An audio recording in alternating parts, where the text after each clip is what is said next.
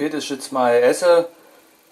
Steakfleisch, Rinderfleisch, Reis, Brokkoli, ja.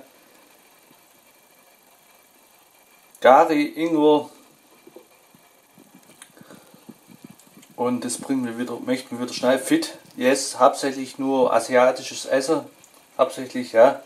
Weil ich muss ja, äh, erstmal muss ich erstmal wieder gesund werden.